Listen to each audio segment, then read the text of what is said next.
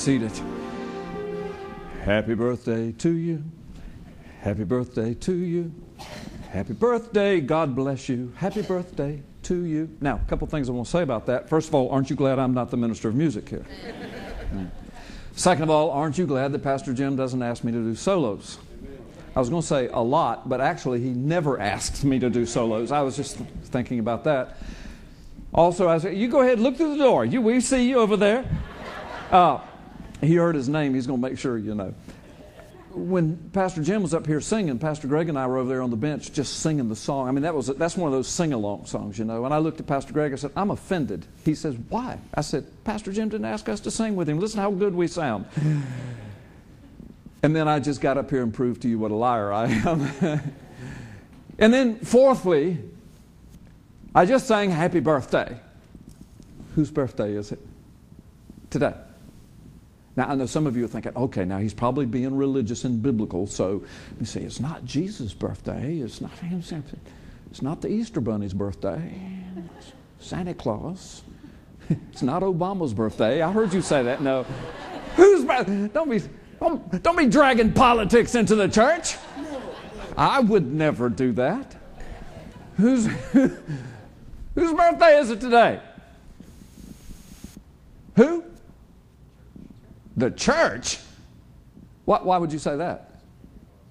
What, today is Pentecost? You're just guessing? Eric says, I don't know. Jim, what's today? My good Methodist friend right there. You got the liturgy down, brother. What'd you, what'd you look at the church liturgy book? The, yeah, yeah, uh-huh. yeah, what's it? Not liturgy. What's it called? Ah, there's a term for it, so you can't remember either, so I'm still looking good. Uh, but anyway, yeah.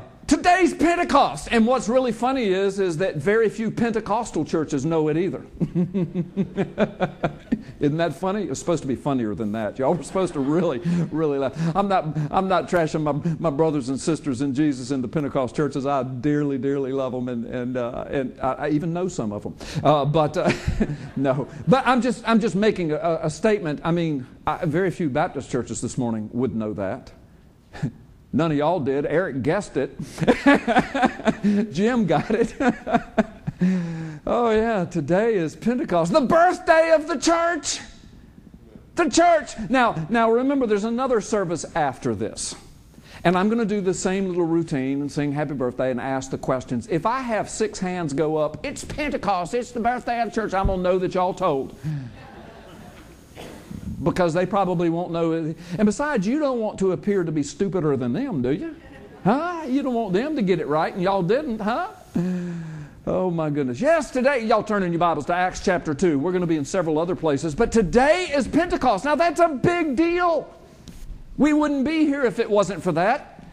That day, and for that promise that Jesus gave. And man, I'm going to show y'all some cool things today something. I'm going to connect this back to the Old Testament. I'm going to connect it back to the feast of the Lord. I'm going to connect it to the, to the, to the elements of that feast and the fulfillment in Jesus and the fulfillment in the New, New Testament. And a lot of the stuff I'm going to share with you, many of you know because you're great students of the Word, and you are, but, but maybe you, it's been a while since you've connected them all like I'm going to do this morning.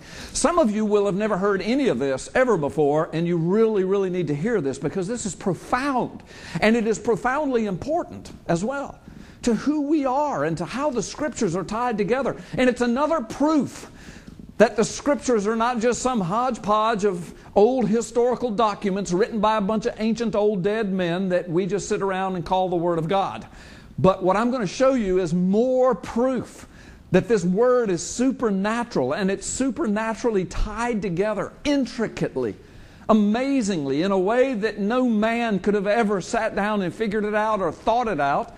And as a matter of fact, as we see it fulfilled in Jesus from the Old Testament, realizing that the Old Testament practices are strictly Orthodox Jewish, who deny Jesus the Christ and deny the New Testament authenticity, then you got to wonder how could somebody have invented it when they don't even want to make that connection in the first place? Well, they didn't invent it, God invented it. He implanted it, and you're going to see it unfold before your eyes. It's an amazing, amazing proof. But today is Pentecost. 1,980 years ago today, the church was born. You say, Carl, how'd you come up with that?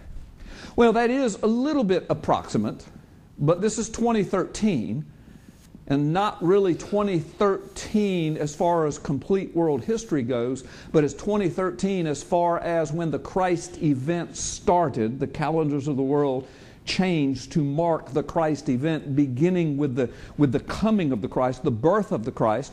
We know that Jesus was about 33 years old in that, in that area right there when he was crucified. Of course, he was resurrected three days later. And of course, Pentecost came 50, about 50 days later. So, right in that 33rd year of his, this is 2013. So, take away 30 from 2013. Isn't that 1980?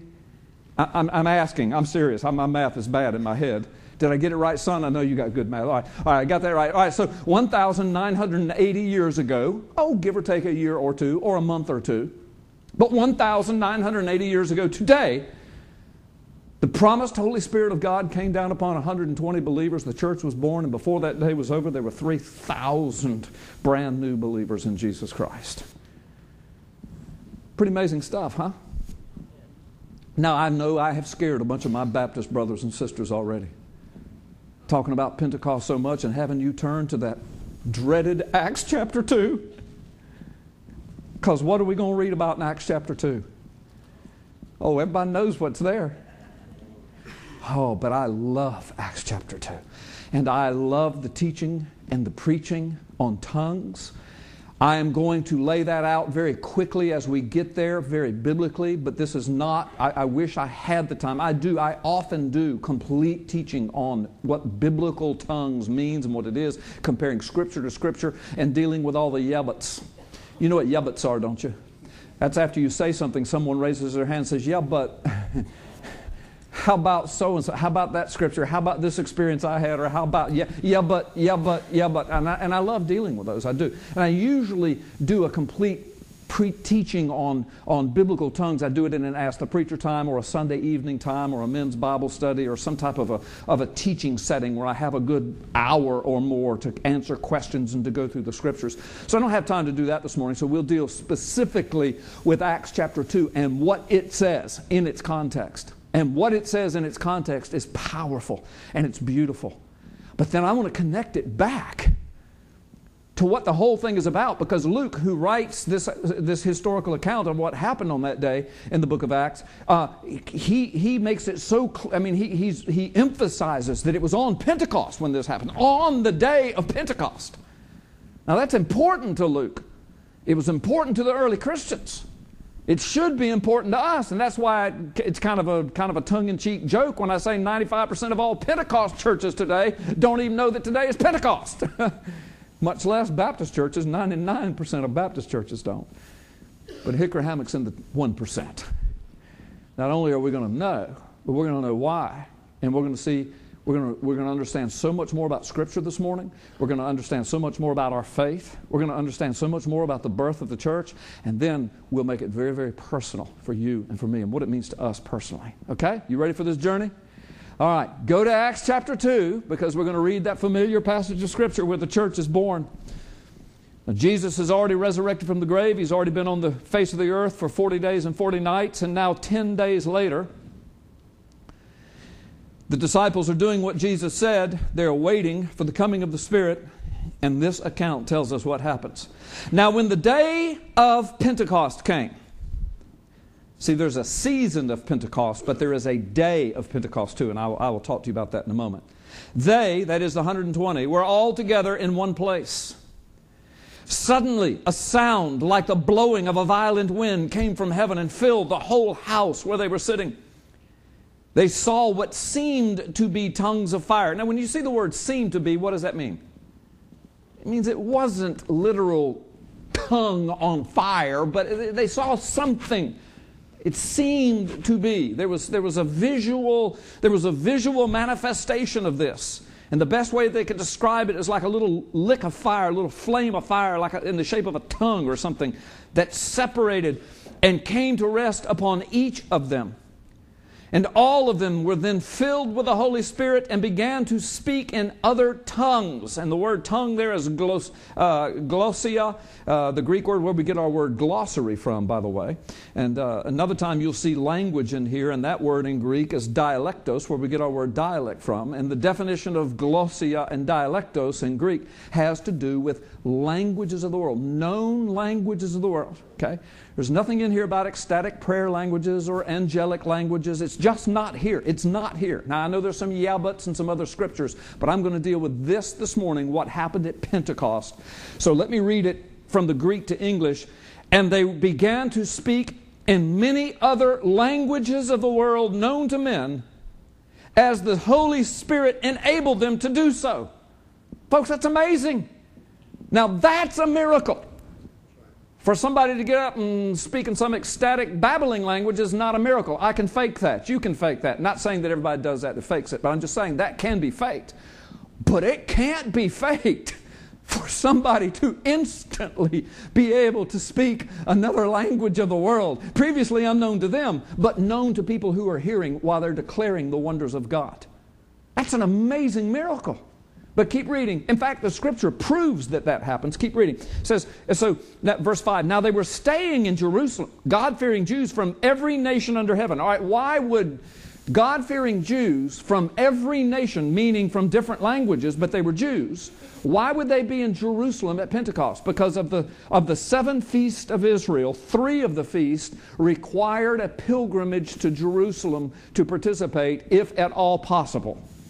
One of them was Pentecost. The other was Passover, and the other was Tabernacles or the Feast of Booths. So, Pentecost, that's why.